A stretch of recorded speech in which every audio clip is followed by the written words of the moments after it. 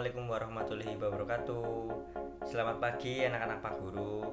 Berjumpa lagi bersama Pak Guru Wahyu Guru kelas 5 SD Muhammadiyah Cipete. Hari ini kita berjumpa lagi dalam video pembelajaran online. Sebelum kita melaksanakan pembelajaran daring atau online dari rumah ada beberapa hal yang ingin Pak Guru tanyakan.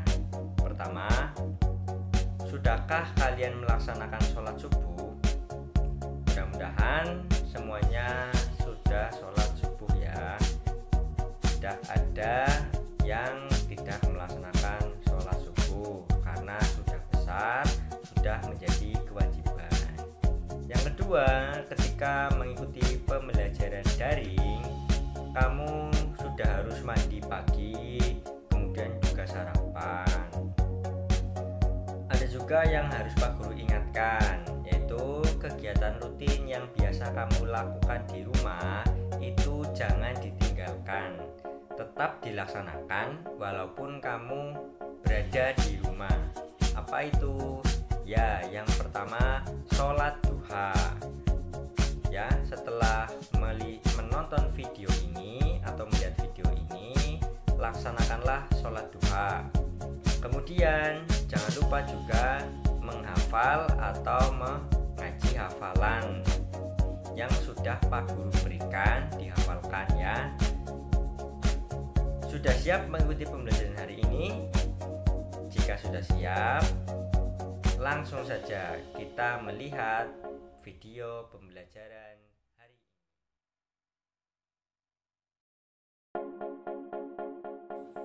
Video pembelajaran tema 1, subtema 3, PPKN dan IPS kelas 5. Yang pertama, PPKN, perilaku yang sesuai nilai-nilai Pancasila.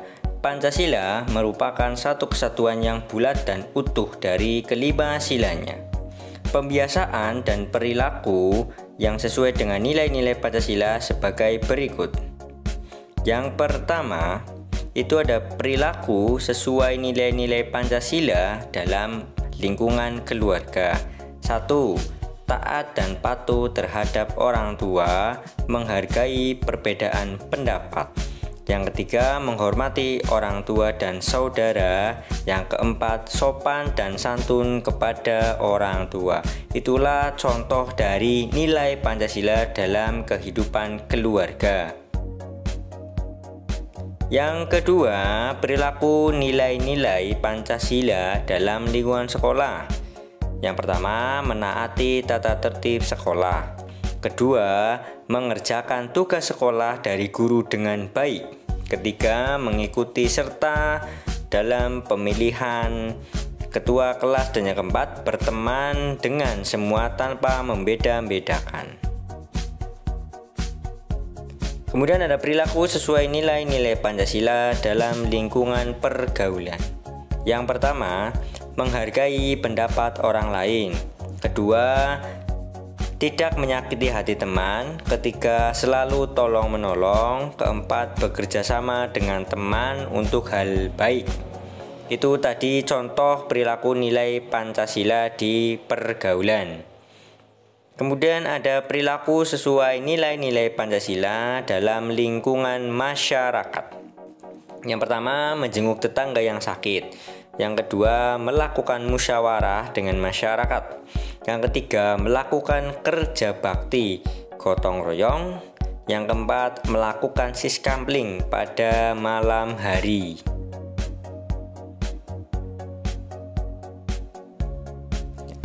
Kemudian ada IPS yaitu Indonesia sebagai negara maritim dan kepulauan. Sudah kita ketahui semua ya bahwa Indonesia itu memiliki wilayah laut yang luas dan juga memiliki beribu pulau mulai dari pulau besar dan juga pulau kecil. Negara maritim itu apa? Negara maritim adalah negara yang memiliki wilayah laut yang luas. Nah, Indonesia mendapat julukan itu karena memiliki wilayah laut yang luas. Kemudian ada sektor ekonomi maritim. Yang pertama ada di bidang pelayaran. Yang kedua ada di perikanan. Dan yang ketiga wisata bahari. Jadi Indonesia itu memiliki tiga sektor maritim lautnya. Kemudian ada mata pencaharian yang berkaitan dengan alam laut. Pertama, nelayan yang tugasnya menangkap atau menjala ikan. Kedua, petani garam. Nah, garam yang kamu biasa gunakan masak itu dari petani ya. Kemudian petani tambak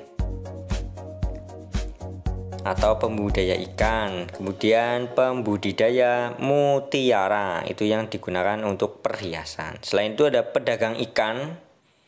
Kemudian ada juga pemandu wisata. Kemudian ada juga petani kelapa. Itulah beberapa pekerjaan yang berhubungan dengan alam laut.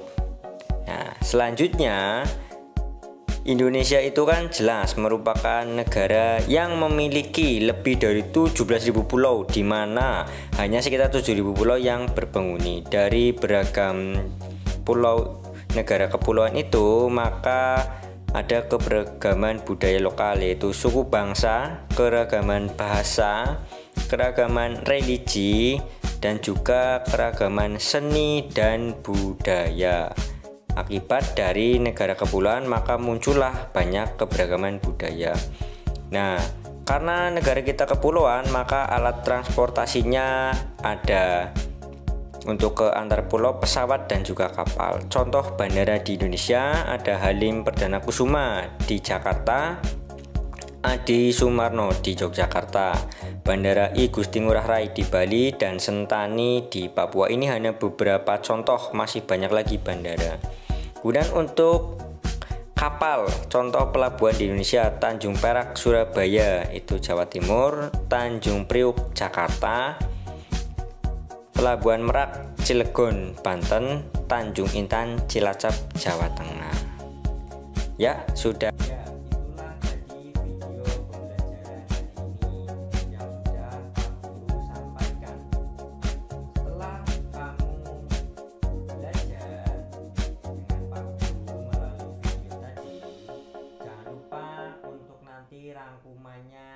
dicatat atau disalin ke buku tulis.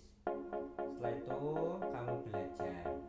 Setelah belajar, kamu bisa mengerjakan soal evaluasi yang hari ini Pak Guru berikan. Semoga